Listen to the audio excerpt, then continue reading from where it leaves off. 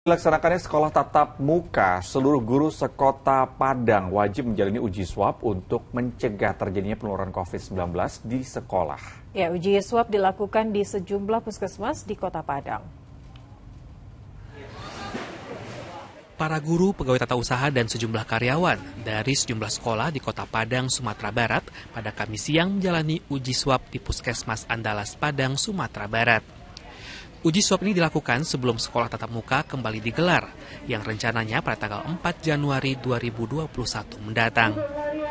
Kebijakan yang dikeluarkan oleh suku dinas pendidikan Kota Padang ini bertujuan agar seluruh pengajar maupun pegawai tata usaha dipastikan terbebas dari COVID-19.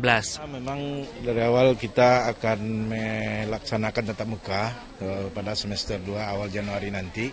Jadi kami dihimbau oleh Dinas Pendidikan wajib untuk tes swab bagi guru-guru setiap uh, guru yang ada di Kota Padang. Gitu. Makanya jadwal SD ada dia sekarang untuk uh, swab ke Puskesmas Andalas ini. Nah, itu dasarnya. Sebanyak 1.500 guru dan petugas tata usaha dari ratusan sekolah yang ada di Kota Padang akan menjalani uji swab.